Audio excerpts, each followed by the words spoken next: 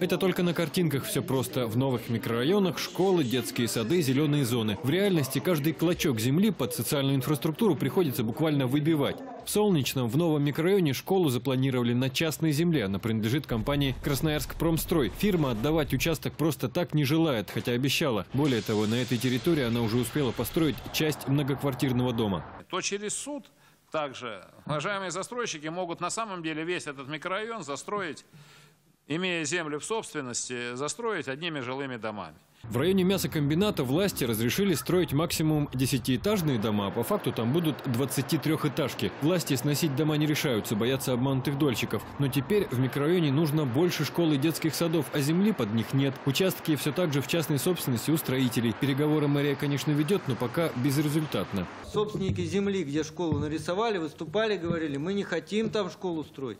Мы не просили и землю не планируем никому отдавать.